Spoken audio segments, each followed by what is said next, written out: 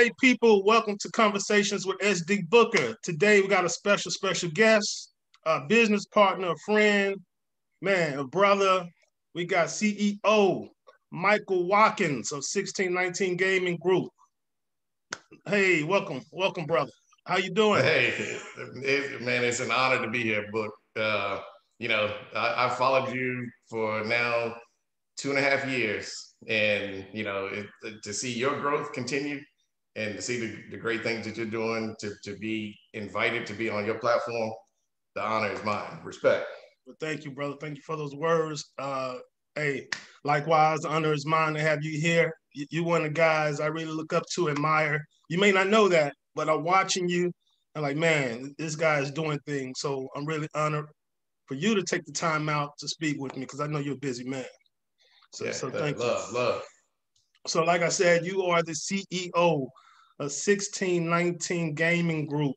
Um, I brought you on to talk about your game, your new game, your new project, uh, Big Stakes Five. But we're gonna take it back before we touch on that. We'll get back to that. So okay. let's let's take it all the way back. Who is Michael Watkins? You know, because I've seen your your previous interviews, uh, I, I knew I knew this question was coming, and it it, it, it woke me up at two thirty this morning because oh, wow, I, I, said I, I, need I need uh, I need a, an, an, appropriate answer, you know. But the but the reality is, uh, and, and and you know, I, I thought you were gonna phrase it as uh, if if an alien came from from another world, you know, right. and they just met Mike Watkins, you know, who, who is Michael Watkins, you know. But no, I I am, and I say that with with purpose, uh, and I know you understand the the true meaning behind I am. Uh, uh, I, would like to consider myself a, a, a man, a, a, servant of the people.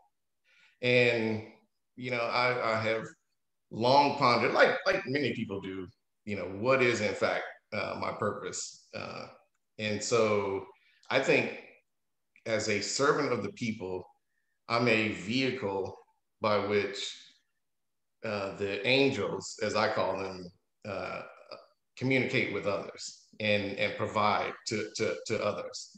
And so, in no one specific circumstance or methodology, but in many different ways, I think that is brought forth. And so, I don't think Michael Watkins is any one particular thing other than a communicator uh, to, to those that, that need it at whatever time and by whatever vehicle. Go. I like that. I am. I am whatever I, am. I need to be. yeah. Exactly. Exactly. Right. right. Exactly. Right. I, I, I, am I am not the, the highest uh, by by any stretch.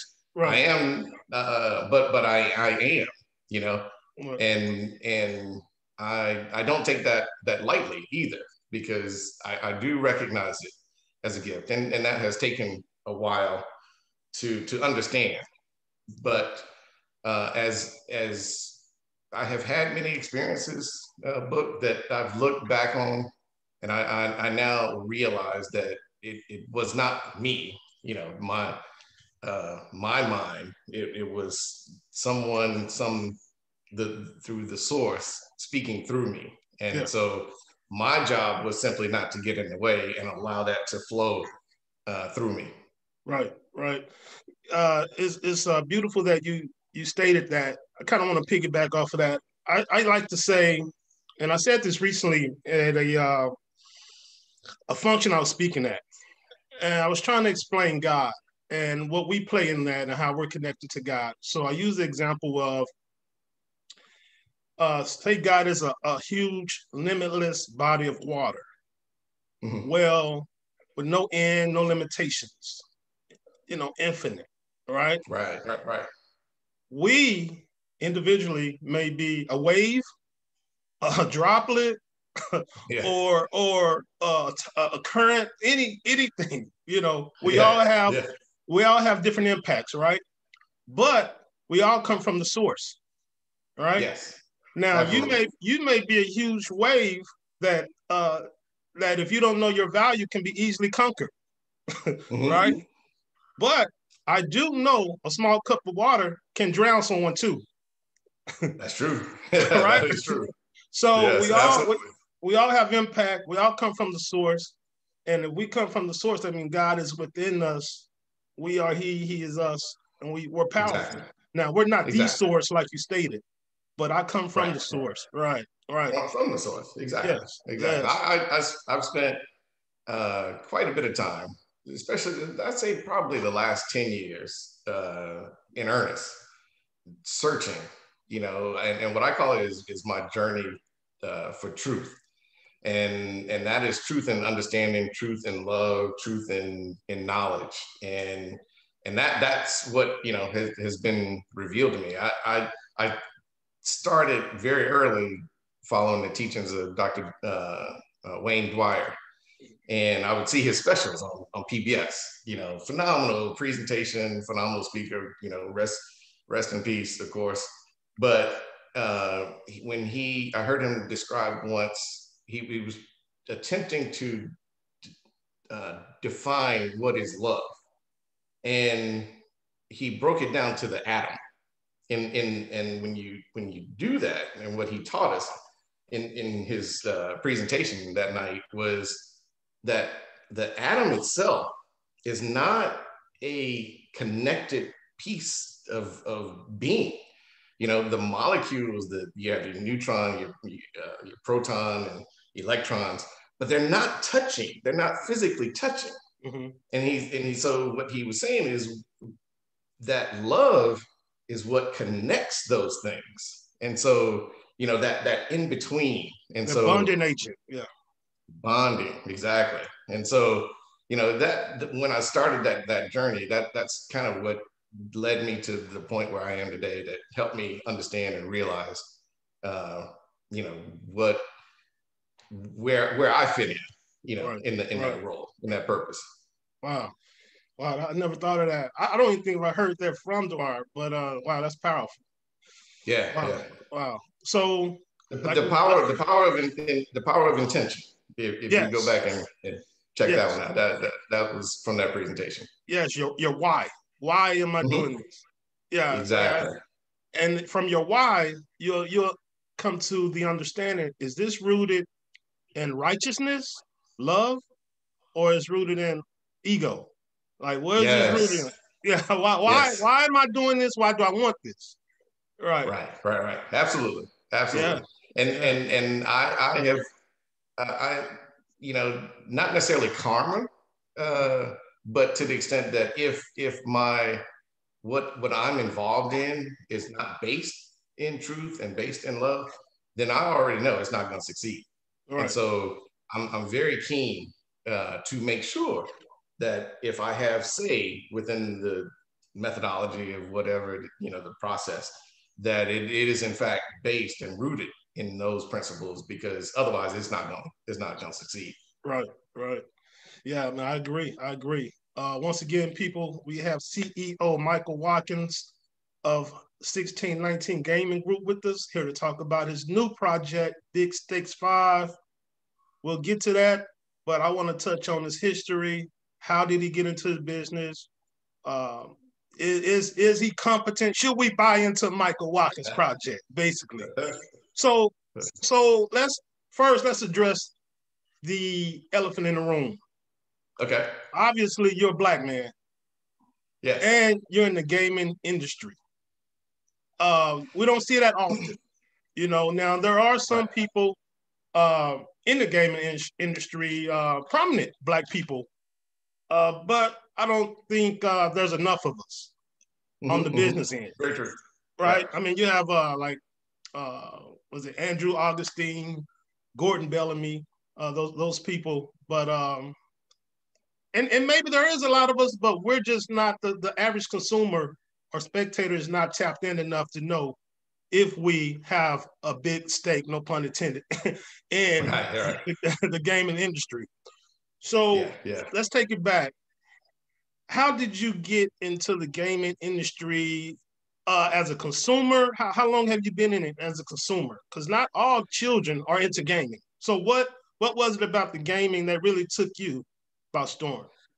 You know, it, it was through I I, I think uh, SD. I need to frame how I came into uh, gaming, uh, and so, and so not to make the story too long, no, no. Uh, but but to, to add a proper context of how this particular venture uh, came to part, my came came about. My business partner uh, Neil Allen and I, we did the, the first ever uh, soccer, a Mexican professional soccer match in the southeast. Wow. And uh, this was all the way back in 2005. And we brought uh, Club America, which is the equivalent in, in Mexican professional soccer, the Dallas Cowboys, let's say. Uh, and when we when we did that, no one thought we would, would succeed. And so we we uh, said, no, we, we can do that. You know, everybody said, well, first, you know, to your very first point, you're black. And then secondly, you don't speak the language. You know, you, you don't, I, I didn't speak Spanish. But we were successful, had a huge event. And, you know, we like to tease and, you know, although we really are serious when we say, you know, when you look at soccer now in Atlanta with, with Atlanta United, for example, you got 80,000 in the Georgia Dome. We started that, you know, but okay. Um, but when we when we did that, we realized there was an undercurrent, if you will, of amateur soccer players all throughout Atlanta. And it, it was huge in terms of the, the revenue that was being generated on a weekly basis. And so we figured, okay, obviously we, we can't do and compete with the World Cup, but there can be an equivalent for amateur soccer players. These guys, they play every weekend. You know, when I was in college, we would drive down uh, George, George Washington Parkway and you see the guys playing soccer every Sunday, every weekend, you know, and that, that happens in cities all across the country, right. amateur players. Right. So we said, you know what, we're going to do a million dollar soccer uh, tournament. And we set sail on that, on that venture. We were fortunate to have huge sponsors. Uh, you know, I mean, and we're talking Fortune 500 sponsor levels. We had television through GolTV. We had even based on my relationship with uh, the late great Lamar Hunt, who had just built Frisco uh, Park, that you know now home of the, the Dallas Star, uh, not Dallas Stars, but the uh, the Dallas uh, and so we were putting this incredible event together, and United States Soccer Federation rolled in on us. And essentially, you know, let's call it what it is. It was a shakedown. Mm-hmm. And so they wanted 15%. They weren't going to help market. They weren't going to help promote. They weren't going to sell any tickets, weren't going to help get any sponsors. And we're like, why would we just give you 15%? Right. So we put it on the shelf. We go to Vegas to celebrate uh, Neil's 50th uh, birthday, just surprise celebration. One of the guys that works with us brings a, a young lady to, to the event. And, you know, you, we were, in fact, we're at the Bellagio and having drinks, just socializing. And, you know, you kind of common courtesy. Hey, what do you do? You know, you knew, hmm. introduce yourself, kind of thing. She says, I'm a professional domino player. So we're like, oh, everybody laugh, ha ha ha. You know, professional domino player. We all say and, that. yeah, exactly. Like, right. really, how much how much money did you make? You know, Miss Professional Domino Player. She said, well, I made about 75 to 90,000. Oh, really? Okay and how, how did you do this? And so she proceeded to explain it to us. We like, ah, hmm, we can take the soccer model, apply it to dominoes, and do a million dollar domino tournament. Okay, well, then we, we the, but the first question was, is there a governing body? Because we did not want another group to roll in on us after we put all this effort, and all this work into it, got all these different things lined up. I mean, and, and and SD, when I say lined up, I mean even we even met with then Mayor, uh, uh, the billionaire that just ran for president um, oh, wow. out of New York. Um, um, yeah, I know you're talking about too. His, yeah, uh, his name slips my mind, but the, the billionaire uh, that right. was then mayor of New York. Right. And you know, we went with his team. We, you know, we were traveling all literally across the country. But anyway, uh, fast forward, we said, okay, we can do that, do the same thing, do the model. But then uh, the the whole idea was, okay, in the traditional domino game, you play uh, with using pen and paper. And, you know, look, hey, you might be my guy, but can I trust that you're going to write down my score correctly? Right. And so we needed a, a, a mechanism, if you will, to keep the integrity of the game. For yeah, we call that, like, yeah, we call that yeah. pencil uh, pencil whipping. pencil whipping. There you go. yes, exactly. and and so you know that was that was the impetus uh, of how the game game was created, and that was that was my introduction to to gaming in in the true sense. Because prior to that, I tried. Uh, my wife, you know, she she's fortunate. She she works for GameStop, and wow. so uh, you know she she gets to bring home different games at different times. Um, at one point, when I was working for my grandfather's foundation, we we had Sony as one of the sponsors. So wow. Sony gave PlayStations to the, the guys that were participating in the game. They gave them games, and of course, I got one. You know, as CEO of, of the foundation. Right. Well, I played SD. I played one night Grand Theft Auto. It had just come out. Next thing I knew, from the time that I started playing, it was three and a half hours later. Oh, yeah. I, easy. easy. I said, I, I can't do this. If if if there is such a thing that's gonna get me engrossed and take right. my time, and I have no idea how long I've been playing, I have no concept of time. Right. I, I can't, I can't, I can't, I can't do it. And so, but that, you know, but my point is that was my introduction to. And so I thought, hmm, I won't ever be a gamer. Even when we created the game, I was not a domino player. I didn't play dominoes growing up and I'm not a, a poker player either. Either. So, oh. Yeah, but you know, we, will talk about it. But that that that helped me in the end. Right, right. So I was curious about this. Where did the name 1619 Gaming Group come from? What, what is that? What's the story behind that? Yeah. yeah, that's a great question. You know, you you alluded to the fact that there are so few uh, African Americans in in gaming, uh, and while you have a, a very select few uh, at the top.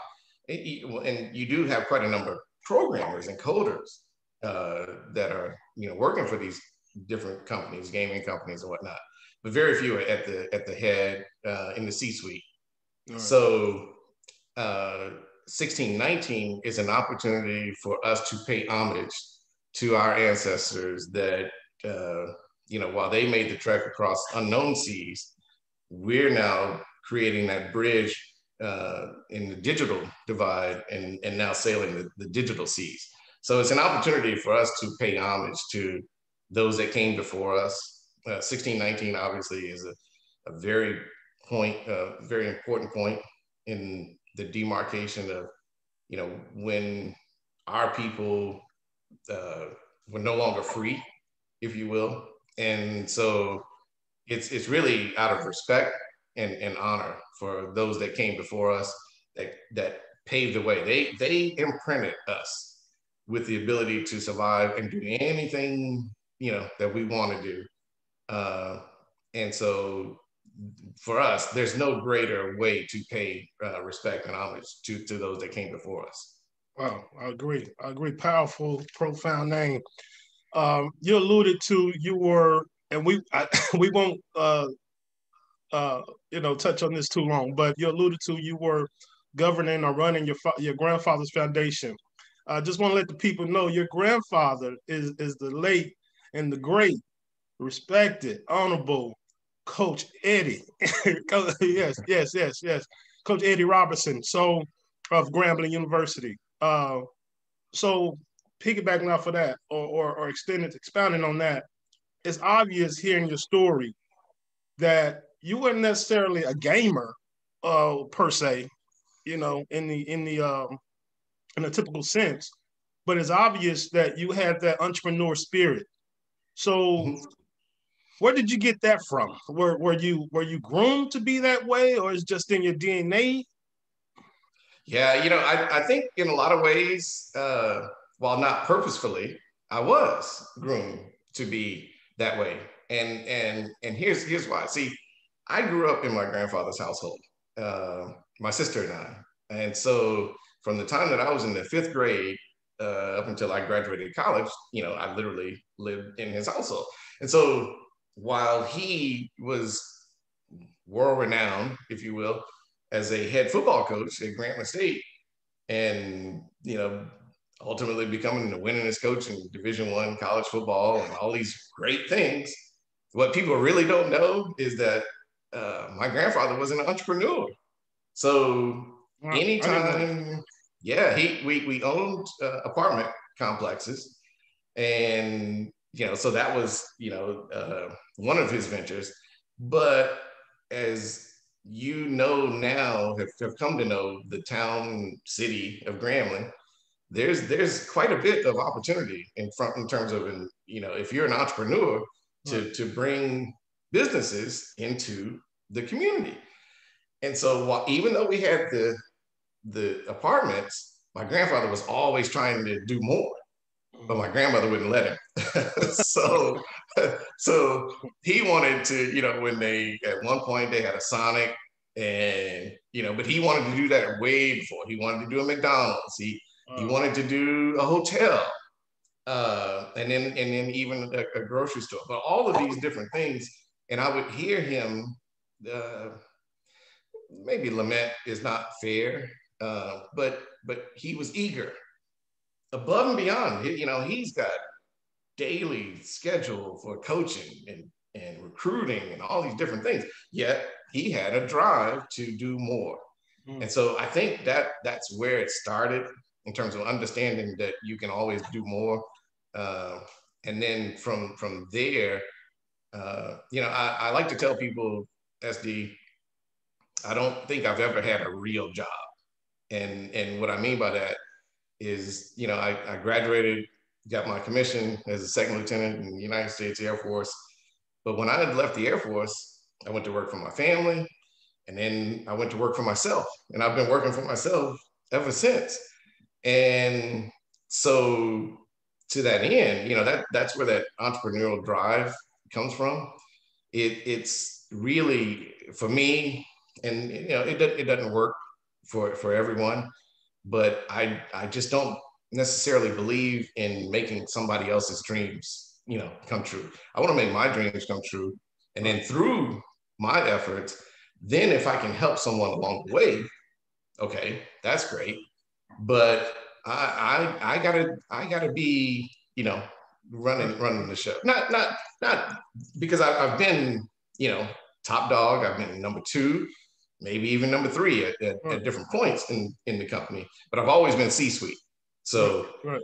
um, and, and that, that is just, you know, part of, of who I am as a leader. Um, but, you know, I, I think it, that that's critical, you know, as well. Oh, no doubt. So, and we'll get into Big Stakes Five uh, gaming your new project. And once again, people, I got CEO Michael Watkins, CEO of 1619 Gaming Group. We're going to talk about his big project that's coming out tomorrow, actually, New Year's Day. Uh, yeah, Big Stakes yeah. 5. It's a twist to it. It's dominoes mixed with poker, chips. It's a twist to it. We'll get into that. Just kind of want to dive into his history a little bit. So, what are some of the obstacles you faced as an entrepreneur? That that other budding entrepreneurs uh, can take from from your lessons or, or your trials and tribulations? Yeah, that, that that's a great question, uh, SD. The the biggest obstacle I think that most any entrepreneur will face, you know, easily the inclination is to say capital. It's not capital. The universe will provide you whatever you need. It's the belief, the thought that I can and I will. And I I often have this conversation with our team members, not my business partner. Uh, Neil is, is as is about as driven as anyone else, you know, can be.